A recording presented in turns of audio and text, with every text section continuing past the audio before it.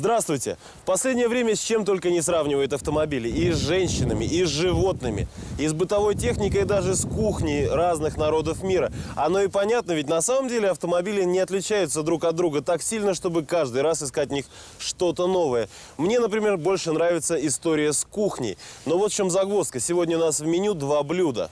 И оба родом из Японии, так что придется постараться, чтобы расставить акценты. Хотя в нашей стране это не такая большая проблема, ведь каждая забегаловка у нас имеет свое мнение о том, как готовят на родине самураев.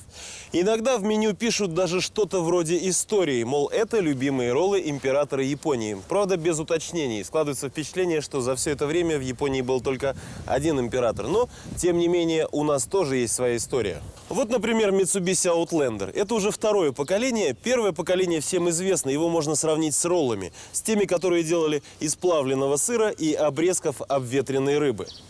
В общем, полная гармония дешевых материалов и скучного дизайна, но тогда это блюдо было редкостным и поэтому разлеталось на расхват. Новый Outlander его полная противоположность. Изящные черты и эффектная внешность. Никаких суррогатных материалов, только качественный продукт. Выглядит как блюдо высокой французской кухни. Отчасти так и есть. Ведь на базе Outlander создано еще два кроссовера, оба французских. Citroën и Peugeot. Такое ощущение, что из привокзальной столовой мы попали в модный ресторан. Но отчасти так и есть, ведь за Outlander предыдущего поколения просили 25 тысяч долларов, а за этот попросят уже все 40. Honda CR-V тоже особенно представлять не нужно. По России уже ездят два поколения этой машины, и это будет третье. Но Honda CR-V первого поколения не ассоциировалась с суррогатными продуктами. Она очень неплохо смотрелась и обладала даже изяществом. А вот машина третьего поколения напоминает, что роллы не такой уж и низкокалорийный продукт. От них тоже можно потолстеть. Впрочем, смотрите сами. Формы заметно потяжелели. Передний бампер висит вторым подбородком, а боковые линии пролегли жировыми складками. В общем, какая-то пропаганда нездорового образа жизни. Особенно на фоне поджарого Outlander XL.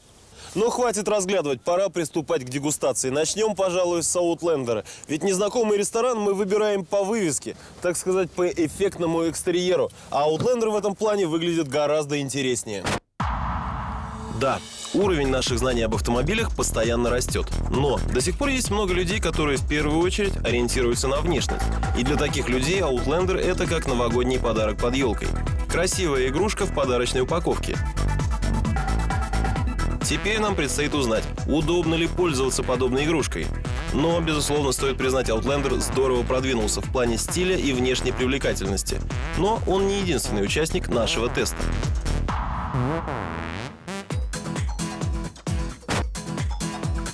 Пора поговорить о его сопернике – Наши придирки к внешности этой машины вызваны в первую очередь тем, что предыдущие версии этого кроссовера все же были гораздо элегантнее. Но, во-первых, красота вещь субъективная, кому-то такие формы наверняка понравятся, а во-вторых, не все выбирают машину, ориентируясь на внешность. Есть и те, кто обращает внимание на технические параметры. А по этим показателям Honda CR-V достаточно сильный соперник. И у него есть козырь, который Outlander вряд ли удастся побить. Это его цена. Над внутренностями Аутлендера, чувствуется, потрудились, как над интерьером ресторана, где собираются выставлять взрослые ценники. И здесь присутствует спортивная эстетика. Два глаза на приборной панели, а тут кое-что вообще из мира большого спорта. Подрулевые переключатели сделаны немного эпатажно, зато удобно, до них можно дотянуться при любом положении рулевого колеса. Здесь есть кое-что еще, что намекает нам на спорт. Отделка передней панели при определенном угле зрения может показаться, что это карбон. Переключатели климатической системы с окантовкой под алюминий. И самая интересная штука – регулировка раздаточной коробки в трех положениях. Передний привод, полный привод и полный привод с блокировкой межосевого дифференциала. В общем, интерьер Аутлендера под стать его внешности. Здесь достаточно изящных решений и эстетских штучек, чтобы в эту машину можно было влюбиться. Но жизнь слишком длинна для одной любви, поэтому Outlander рассчитывает не только на эмоции своих владельцев. Здесь есть много иррационального. Места немного, но достаточно. Отделка сидений кожей помимо китча это еще и очень удобно, особенно на наших дорогах. А в плане оснащенности Mitsubishi Outlander тоже очень неплох, хотя климат-контроль здесь не раздельный. первый момент может показаться, что на Хонде автоматическая коробка. На самом деле это рычаг стояночного тормоза. Рычаг коробки чуть выше, и коробка здесь механическая. Шесть ступеней должны как-то компенсировать отставание в мощности. Ведь на Хонде всего 2 литра против 3 литров у Аутлендера. Взяв эти автомобили, мы для себя хотим решить вопрос, а нужны ли под капотом такого класса автомобилей бесчисленные табуны лошадей. В целом, в салоне Хонды здорово, но немножко попроще, чем в Аутлендере. Здесь те же два перчаточных ящика. Правда, нет обдува, как в Аутлендере, для того, чтобы летом превращать все это дело в холодильник для напитков. Места в салоне Хонды побольше, что, конечно, удобно, но в какой-то степени лишает уюта. CRV, кстати, в плане оснащенности мало в чем уступает Outlander, а кое в чем даже превосходит. Здесь, например, климат-контроль раздельный, а это, кстати, неплохая заявка на роль лучшего семейного автомобиля. Эта функция позволит не ссориться хотя бы по поводу температуры воздуха. Но салон матерчатый, а значит не очень практичный. Ну что ж, с уровнем комфорта, который предлагается тем людям, которые за весь этот обед платят, мы разобрались. Outlander предлагает утонченную эклектику, а CRV по-американски большое пространство, без особого внимания к мелочам. Но все-таки о задних пассажирах. Автомобили такого класса не предполагают какой-то излишней технической оснащенности для пассажиров заднего ряда. Ее здесь действительно нет, поэтому сконцентрируемся на том пространстве, которое предлагает оба автомобиля. В Хонде объективно этого пространства больше. И голова не стучится об потолок, и коленями не приходится массировать спину пассажиров передних сидений. Но главное, главное это дверной проем. Хонда сама страдает от излишеств, поэтому и от своих пассажиров она не требует особой спортивной формы. Давайте проверим эту разницу с помощью вот такого вот циркового трюка. Если мы попробуем взять этот метр и приложить его к проему двери, то увидим, что остается еще пространство. В Mitsubishi выглядит немножко по-другому. Этот круг приходится еще немножко ужимать. Так что пассажирам заднего ряда не нужно запускать свою фигуру. Но на этом цирковые фокусы не заканчиваются. В багажнике Outlander специально для вас показывают свое представление дрессированные сиденья. Для этого особо делать ничего не нужно. Просто так вы можете посмотреть за чудесами эквилибристики. Нажимаете кнопку и смотрите на результат. Впечатляет. Эффектно, а главное очень удобно. Жаль, что обратно разложить сиденье таким же образом не удается. Но легким движением руки вслед за первой можно отправить и вторую часть сиденья. Они, кстати, раскладываются в пропорции 40 на 60. Потом Открываем задний бортик, который помимо удобства загрузки позволяет здесь сидеть еще и двум пассажирам. Общий вес, который выдерживает эта конструкция, 200 килограмм, что, согласитесь, более чем достаточно. А чтобы этим двоим не было скучно, для них в багажнике предусмотрен самый мощный элемент аудиосистемы автомобиля – сабвуфер Rockford Fosgate. В багажнике Honda не устраивают цирковых представлений. Здесь все по-другому. Здесь нет специальной откидной полочки, которая облегчает загрузку и дает возможность двум уставшим в дороге пассажирам посидеть и передохнуть. Да и сидеть тут, в общем, незачем. Как видите, сабвуферов тут тоже не предусмотрено. Зато есть вот такая вот интересная полочка. Она позволяет разделить весь груз на две части. То, что побольше и потяжелее сюда, а то, что полегче и поважнее сюда. В принципе, все важное должно войти сверху, потому что эта полочка готова выдержать выдержать груз весом в 10 килограмм. Во внешности Outlander много намеков на спорт. Да и в интерьере их тоже хватает. Но как это воспринимать, как серьезное предложение или как потуги на псевдоспорт? Об этом нам еще предстоит узнать. Ведь единственный способ узнать реальность этих обещаний – проверить это на практике, чем мы сейчас и займемся. А заодно получим ответ на интересующий нас вопрос. Нужны ли таким автомобилям мощные моторы? Ведь положа руку на сердце, двух литров вполне достаточно, чтобы уверенно передвигаться по дорогам общего пользования. А иногда даже за их пределами. Или это только так кажется. Honda CR-V принадлежит к автомобильной семье, которая не чужда спортивно-активного взгляда на жизнь. Поэтому несколько странно, что CR-V ограничена потолком в 150 сил. Но передаточные числа коробки подобраны удачно. Старт с места бодрый и динамика разгона приемлемая. Семье Митсубиси тоже богато со спортсменами. Так что задор Аутлендера имеет генетические предпосылки. Подвеска достаточно жесткая, но в меру. Еще чуть-чуть и стало бы некомфортно, а так именно то, что нужно, чтобы водитель Аутлендера мог реализовать возможности этой машины не только по прямой. Управляемость Excel на высоте. Не зря машина, не переставая, предупреждает непристегнутых пассажиров о том, что они совершают ошибку. Outlander располагает динамичной езде.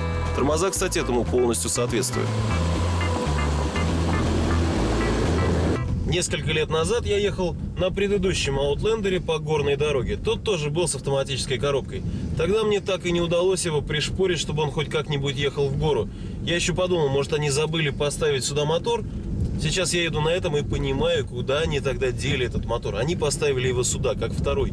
Динамика фантастическая. Да и переключатели подрулевые, они здесь очень к месту. Реакция на нажатие фантастическая. Вот смотрите, нажимаю, переключается. Еще раз нажимаю, еще раз переключается. Руль острый, практически как на Evolution. Так и подмывает. Проверить может он тоже в два оборота. Тормоза информативные. И вообще, машина слушается как прилежный официант, понимает с полуслова. Повороты проходят как по трамвайным путям и практически без кренов. Но что это? 19 литров. За что? Простая арифметика. 3 литра объема, 220 лошадиных сил и тонна 700 веса самого автомобиля. При таких данных уравнений не должно получаться результатов 19 литров. Может здесь просто завелся солитер? Хотя шли разговоры о том, что на Outlander нового поколения будут ставить двигатель от Peugeot. Видимо, эти разговоры были не напрасны. CRV спокойнее в плане темперамента. Учитывая 150 лошадиных сил мощности, на ней даже не хочется отжигать. Но едет она вполне достойно. Интерьер, внешность, динамика движения, все здесь находится в гармонии. И даже комфорт поездки соответствует этой стилистике. При двух литрах объема двигателя расход всего 10,5 литров, так что с обменом веществ у нее все в порядке. Вот с чем здесь проблемы, так это с управляемостью. Визжит она в поворотах на резких траекториях. Ну а с другой стороны, где вы видели, чтобы людям с излишним весом легко давались физические нагрузки? Теперь пора ответить на тот вопрос, который мы задали в самом начале программы. Нужны ли кроссоверам мощные двигатели? Ведь они, хотя и не полноценные внедорожники, все же центр тяжести у них достаточно высоко. Еще недавно ответ был бы один. Мощный двигатель на таких машинах – это пижонство. Сегодня ответ уже другой. Современные кроссоверы за счет настроенной подвески мало в чем уступают по управляемости легковым автомобилям. Так что нужна мощность или нет, сегодня зависит только от пристрастий водителя. Среди наших участников трудно выбрать победителя. Mitsubishi Outlander, конечно же, изменился гораздо существеннее по сравнению с предыдущей моделью, но он здорово прибавил в цене. Так что многие владельцы Outlander могут оказаться не готовы сохранять лояльность марки. Хотя, по сути, Outlander XL – это совершенно новый автомобиль. Он больше, изящнее и, в конце концов, роскошнее, чем его предшественник.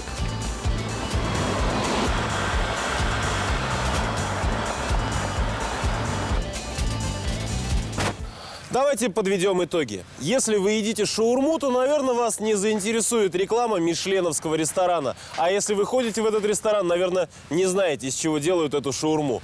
Это, конечно, крайние примеры, но приоритеты в нашем тесте расставлены именно так. Outlander – штуковина для тех, кто в модные рестораны ходит. И такие люди найдут для себя в этой машине много интересного и понятного. Конечно, понятно будет не все, но это не главное. Главное, что и другие посетители модного ресторана оценят ваше соответствие моде. Как-никак одна из последних новинок. Еще не так давно я рассказывал вам о ней. Из павильона Женевского автосалона. И в этой системе ценностей нездоровый аппетит – вещь не главная. Honda CR-V демонстрирует принципы разумной достаточности. Всего того, что здесь есть, за глаза хватит для того, чтобы соответствовать уровню нормального заведения, но не модного кафе. Сюда вряд ли придут люди только потому, что это модно или стильно. В Outlander придут, а сюда нет. Зато Honda подкупает семейными ценностями. Большое пространство, приемлемый комфорт и скромный расход топлива. И внешность, которая избавит жену от лишних подозрений. Я бы, во всяком случае, на такой машине не поехал в поисках случайных знакомств. Ну и цена. Та стоит около 40 тысяч это чуть больше 30. Та машина стоит своих денег, если вы привыкли платить за имидж. Это тоже стоит, причем до последней копейки. Но Honda CR-V есть и в комплектации побогаче. Тогда ее цена доходит до тех же заветных 40 тысяч долларов. Вот такую машину я бы покупать не стал. Во-первых, на ней устанавливается все тот же двухлитровый мотор, более мощный в Россию пока не поставляется. А во-вторых, даже в богатой комплектации внешность этого автомобиля все равно останется без изменений.